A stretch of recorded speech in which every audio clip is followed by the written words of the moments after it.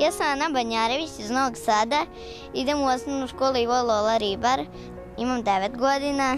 Ani Badnjarević je sa svega godinu dana diagnostikovana ultraredka neurotransmiterska bolest, deficit tirozin hidroksilaz. Ana je jedina u Vojvodini koja se bori sa tom bolešću. A zahvaljujući ranoj diagnostici i adekvatnoj terapiji, njena svakodnevica se ni po čemu ne razlikuje od one koje imaju njeni vršnjaci. Volim košarku i tekvondo. Išla sam na svaku moguću ekskurziju. E, I nije mi problem da, popi, da popijem četiri puta lek tokom dana. Osim Ane, u Srbiji se prema postojećim podacima još dvoje dece leče od te redke bolesti. Njena majka Ivana kaže da su se njen suprug i ona od potvrda dijagnoze u Švajcarskoj do čerkine terapije suočili sa diagnostičkom odisejom i da joj je to bio motiv da preuzme na sebe misiju timskog angažmana kako bi pomogla drugim roditeljima sa sličnim problemom. Prepoznavanje simptoma je često presudno, Tu bude jedna opšta hipotonija, slabost mišića, distoni pokreti.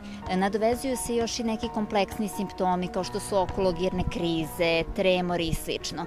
Bilo šta od ovih simptoma ako roditelj primeti, veoma je važno da se javi pedijatru da bi se kasnije uputili ka neurologu, fizijatru i genetičaru koji dalje sugerišu e, diagnostičke procedure i utvrđivanje dijagnoze. Unapređenje diagnostičkih procedura, bolja dostupnost terapija, veća podrška roditeljima obolele dece, donošenje nacionalnog registra, samo su neki od izazova koji su deo borbe Novosadskog udruženja Hrabriša.